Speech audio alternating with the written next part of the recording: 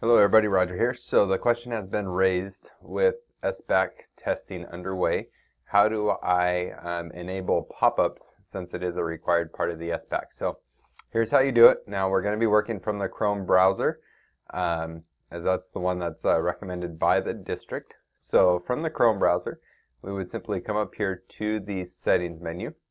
And when we click on the settings, we are going to go down to settings right here. When the settings pop up, what we're going to do is scroll down and you're going to notice a link here for advanced settings. We're going to click on that.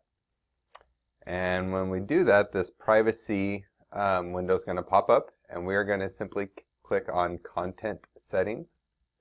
This will pull up another little window and what you're going to do is scroll down and as you scroll down about halfway through you're going to get to a pop-up section.